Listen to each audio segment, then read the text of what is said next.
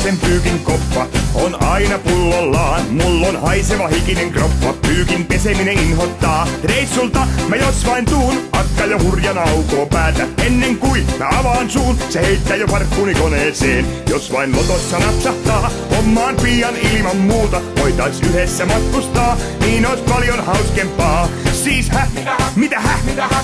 Riittääkö pyykkiä hä? Siis hä? Mitä hä? Mitä hä? Riittääkö pyykkiä hä?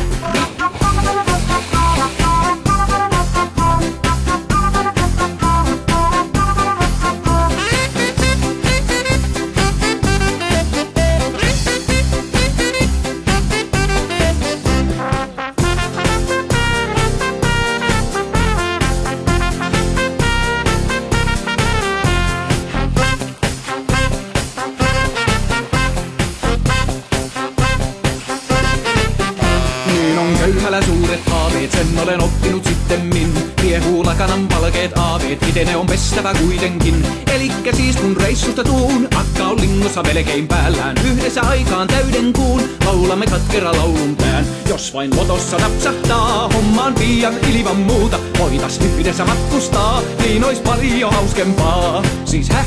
Mitä häh? Riittääkö pyykkiä häh? Siis häh? Mitä häh? Riittääkö pyykkiä häh?